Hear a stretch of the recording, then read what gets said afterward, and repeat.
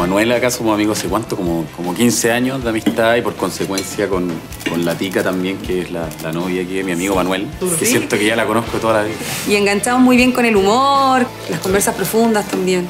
Han sido instancias súper bonitas donde he podido conocer al Fele. Con el Manolo vivimos juntos eh, como seis años en Camino Sí, a años, sí. Bueno, esa fue una etapa muy intensa de amistad porque obviamente compartimos la vida. Cuando viví cinco años con un amigo, pasamos a ser como hermanos. Hicimos labores domésticas juntos. Claro. Juntábamos a nuestras familias mucho, como que tratábamos de hacer ese, ese ritual cada un tiempo. Así que fue como una súper buena sorpresa que apareciera ahí la, la, la tica en esta, en esta relación. En esta Claro. familia. Una amiga más que se suma ahí a la, a la gran familia de, Qué lindo. de amigos. Pues a mí me hace muy feliz porque los quiero un montón.